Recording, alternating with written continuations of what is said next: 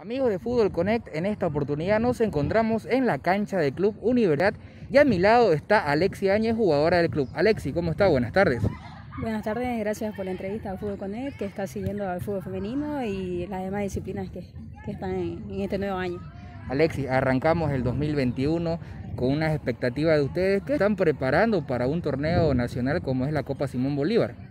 Eh, sí, como es, este, empezamos este nuevo año bueno, el año pasado tuvimos un campeonato que nos ayudó bastante y seguimos entrenando, así que este nuevo año es a, seguir dándole, como ya está cerca del campeonato de la Simón Bolívar y hay que seguir.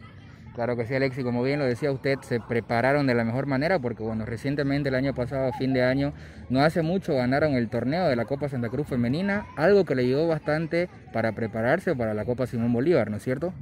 Sí, así es. También agradecemos a, a los organizadores que que empezaron en nosotras en el fútbol femenino para que así no, no, no sigamos paradas eh, y sigamos encerradas. Claro que sí, Alexis. Bueno, aprovechando las cámaras, un saludo para todos los seguidores de Fútbol Connect, como los amigos y familiares también.